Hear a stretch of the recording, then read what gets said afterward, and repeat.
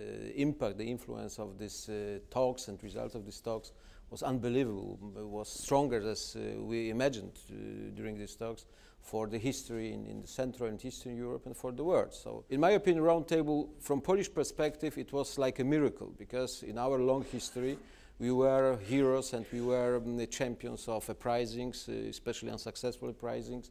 Normally, we uh, uh, had a lot of uh, blood on the, on the chapters of our history and, and, and victims. And first time, or very few times in our history, but with such uh, weight of the event, uh, first time roundtable was uh, uprisings without blood, without victims, without destruction, and it was a peaceful process from communist, both sides, Communist Party and, and Solidarność.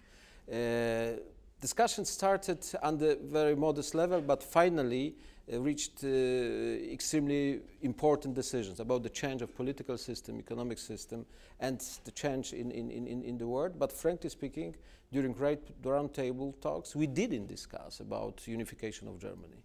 And nobody mentioned even that the Soviet Union will, collapse. Will collapse. I think I, am even uh, sure that if some who would say us during these talks that we will have such consequences of this roundtable, we would be not so courageous and, and, and, and uh, um, open. But sometimes the lack of, uh, of, of, uh, of imagination is, is, is really support and, and, and, and an advantage. If we see the result of these 20 years, Poland is a democratic state, we have free market economy, our situation even during this deepest crisis is, is relatively not bad. We have new constitution, we, have, we are members of European Union, we are members of NATO, we are a safe country. And during last 20 years in extremely difficult uh, uh, circumstances and environment, political environment in this region, Poland was exported of stability.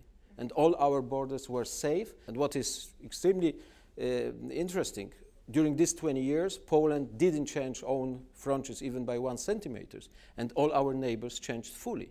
No one of our previous neighbors exists. GDR doesn't exist. Czechoslovakia is divorced.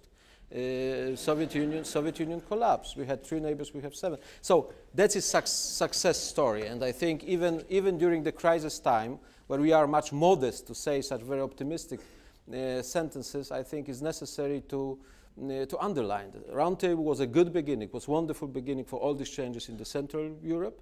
And this process, which we can observe 20 years of our newest history, really that's is, that is like a miracle. Nobody expected that we can change the, the, region and the world so much. So I'm so sorry because of I'm optimism, but, but I think that's, I'm very much afraid about politicians which are pessimistic because that is better to be even too much optimistic. But 20 years of this history really is a success story.